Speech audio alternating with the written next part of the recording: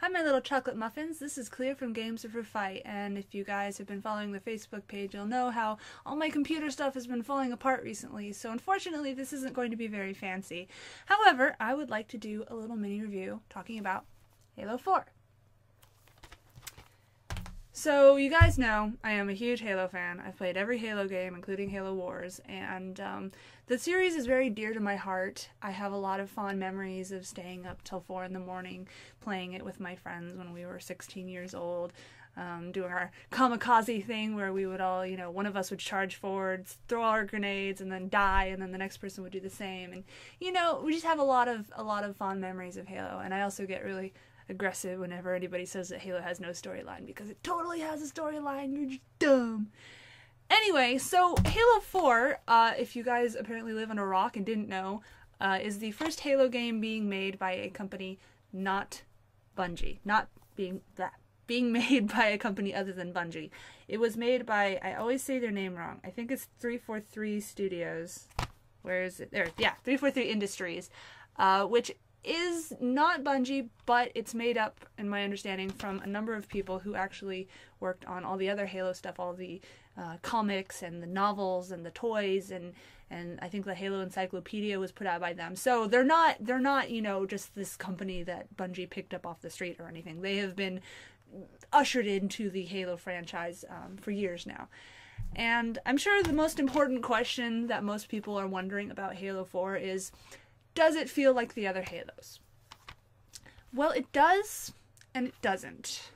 Um, the fighting and the combat is all very much the same. Um, of course, you don't have the Flood in this one, which I was kind of sad about because I like popping Flood. But you do have the Prometheans, who are kind of living android types. And one thing I like about the uh, uh, the Prometheans is that um, the knights, who are like the main Prometheans, they don't really have a very easy to identify point that you just you know headshot and then they're dead. You know they're kind of difficult no matter where you're shooting from. They also have a range of weapons and yes you can pick up the weapons. I didn't really like any of their weapons. I mean the light rifle which is kind of like the carbine or the dmr of the promethean world is uh it's okay but you know it was not my first choice. I still like the dmr and the needler and everything like that.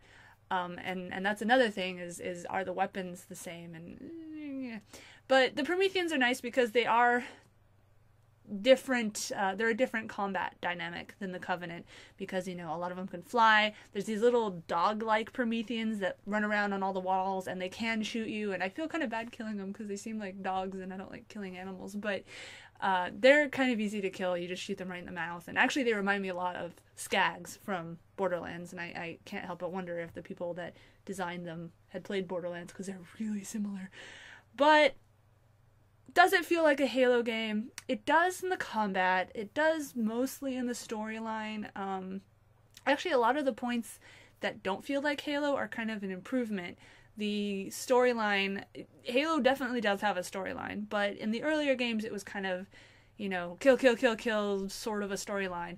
But in this one, um, the main issue of the storyline, and I don't think this is too much of a spoiler because you learn about it right away, is basically Cortana is now eight years old, and apparently in the Halo world, uh, once AI gets past seven years old, they start to uh, be affected by this thing called redundancy, where they basically, in Cortana, Cortana's words, think themselves to death.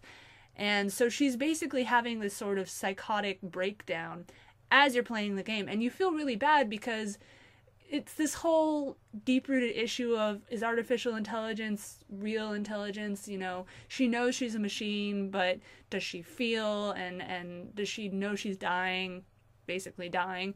And how does she feel about that? And there's some very good lines i don't want to ruin them but there's some good lines in there that i seriously almost almost cried because i was like Cortana um and, and all the voice actors are the same. Um you know, it's kind of weird because I watched the Forward Unto Dawn little webisode things that they did before they came out with Halo 4, which are kind of related.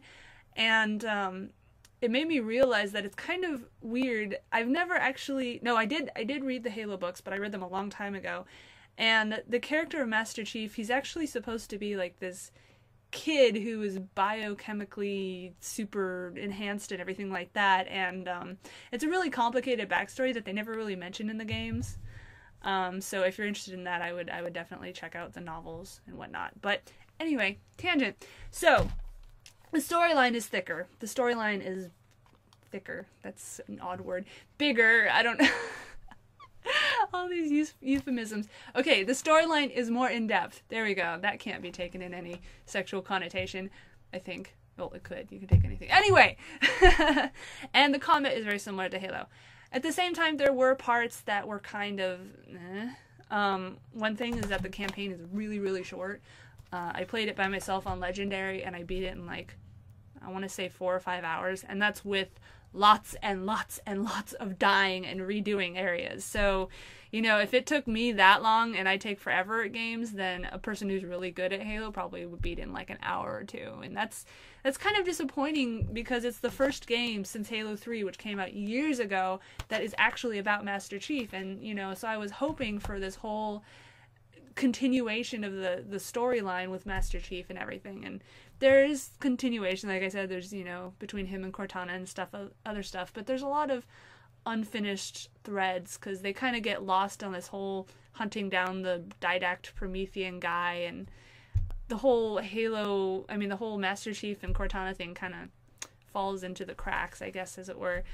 But I'm hoping that they they're going to explore it more in the next game, but at the same time, I'm kind of irritated that 343 with their very first Halo game is already establishing this sort of BioWare Mass Effect ish thing of nothing's concluded, so you have to buy the next game, and it's like, really, you know, I I had to spend what 60 70 dollars to get this game? And I do like multiplayer but I'm not one of these people that plays it all day every day. I like to have a robust single player campaign. Or not even single player you can play it with you know co-op. But um it's just I don't like this attitude that a lot of games companies are having where they're kind of shifting away from single player and focusing on multiplayer because people keep coming back from multiplayer but you know, there are people like me still out there who like single player, who like to have an actual storyline with their game. So so please don't forget about us in your eagerness to cap on the whole millions of Call of Duty fanboy players. So I'm, I'm disappointed in that. But honestly the game could have been so much worse and I, I feel like i'm i'm sound like i'm backpedaling but i swear i just think that it could have been a lot worse but Anyway, this has gone really long, and I'm sorry about that. I, I will definitely come up with a more concise review once I have a working motherboard and stuff again, and I can actually edit. Um, but I just wanted to say, it, it is fun. I don't know if I would necessarily spend 60 bucks on it unless you really like Halo, Halo multiplayer. Um, there are they are adding a lot of multiplayer stuff that I haven't even played with yet because my internet situation right now is not so good.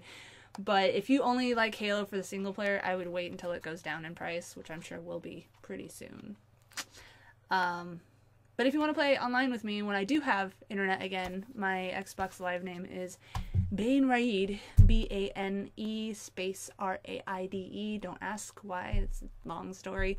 And um, if you do send me a friend request, please send a message with where you got my name because I get a lot of just random friend requests and it's like, I don't know who you are. And I think that's enough. That's about it. And um, up next is probably going to be Assassin's Creed 3, which I have been trying to beat pretty pretty much. Things are really in an upheaval right now because of personal stuff. But hopefully that'll work out. Oh, and my birthday is this Sunday, November 18th. I'm turning 27. I'm such an old hag. anyway, you can wish me happy birthday if you want. So, or not. It's up to you thanks for watching, and um, I guess I'll see you guys once I can make a more concise Halo 4 review. See you guys later.